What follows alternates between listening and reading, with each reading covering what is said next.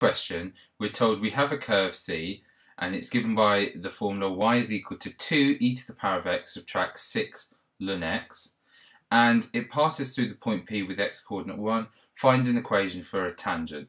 So this is quite a straightforward question. Uh, we need our equation in the form y subtract y1 is equal to mx subtract x1 where we need to find obviously um, our m which our gradient of our tangent and our y1, x1, which is a coordinate which is on the tangent and on the curve.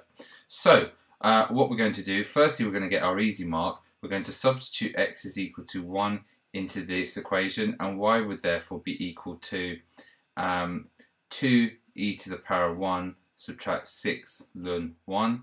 Ln 1 is 0, so this is y is just 2e. Now always leave your answers as exact. Don't decimalize anything. Okay, so our coordinate is 1 and 2e. Okay, now we need to find our gradient. Uh, so we've got y is equal to 2e to the x, subtract 6 ln x. So dy by dx is going to be equal to uh, e to the x differentiates to e to the x, so 2e to the x differentiates to 2e to the x.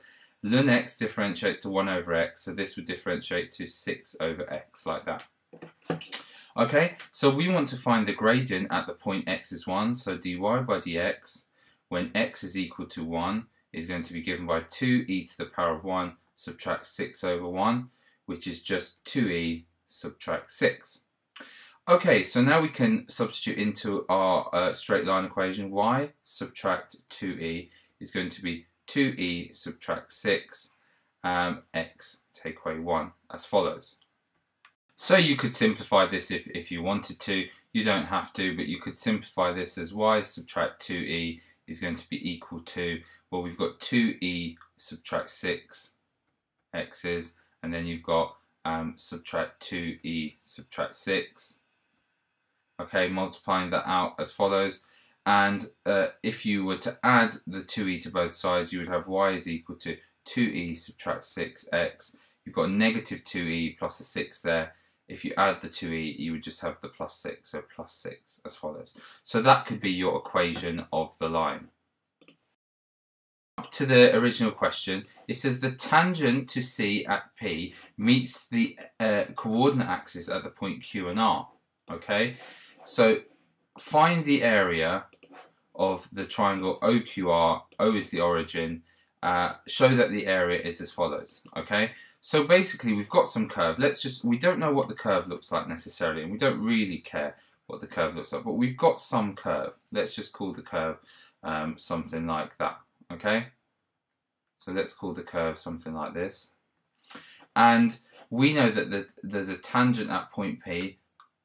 So the tangent at point P, imagine this is point P here, okay, and it says that the tangent uh, meets the x-axis at Q and R. So if we draw a tangent there,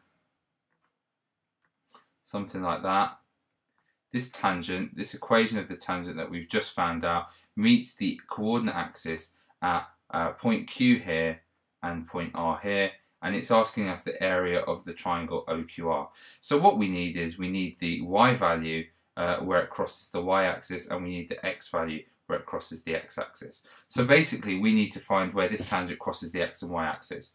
So where it crosses the, let's do the crosses y-axis first. Where it crosses the y-axis, x has got to be 0, and clearly y is equal to 6 there, if you put 0 in here. Now, where it crosses the, the x-axis, y has got to be 0. Okay, so we're going to solve the equation 0 is equal to 2e subtract 6x, add 6. And we're going to solve for x. So take away 6 off both sides and divide by this. x is going to be equal to negative 6 over 2e subtract 6, like that. So that's what x is going to be equal to. So if you're trying to work out, so let's just label in these points here. So this y value here eh, going to be y is equal to 6. So this height here is clearly 6. And this uh, width here is clearly going to be 6 over 2e subtract 6. Now if you work out uh, 6e, if you work this out on your calculator, which we should do, this is uh, negative 6 over 2 e subtract 6 like that, it actually turns out to be a positive number. So I haven't drawn the graph accurately. The graph or the triangle would have actually been going that way, but it doesn't matter. We know this is a positive number, okay? So if we're working out the area of this triangle, the area of a triangle, the area is going to be half the base times the perpendicular height. So that's going to be a half this base here, which is a positive number. So um, this here is going to be negative 6 over 2e subtract 6 okay, multiplied by the height of 6 as follows. So let's tidy that up. Half multiplied by this would be negative, a half multiplied by 6 would be 3, and that would be therefore negative 18 over 2e subtract 6. Let's see up here what we were asked to show it was.